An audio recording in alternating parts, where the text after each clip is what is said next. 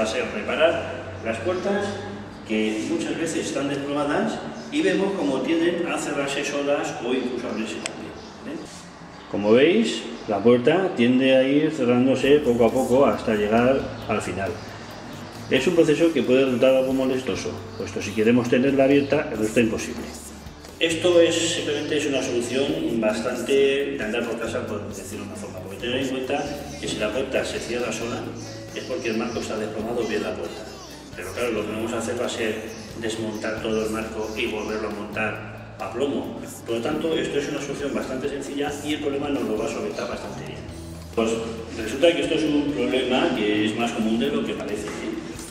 Sacamos la puerta y aquí tenemos el espárrago del, del Lo que tenemos que hacer es crearle una especie de muecas a los espárragos, ¿vale? Para que resulte que no sea tan liso.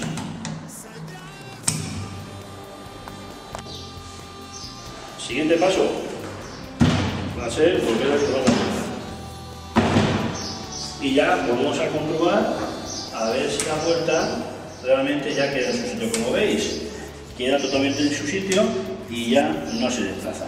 ¿Por qué ha sido eso? Pues muy sencillo al alterar un poco el espárrago en la camisa de este, dentro del pernio, lo que hace es que genera cierta presión y evita que la puerta se, se desplace. Ojo, hemos reparado esto, pero no lo hemos arreglado definitivamente. ¿eh? Ha sido un arreglito, por decirlo forma.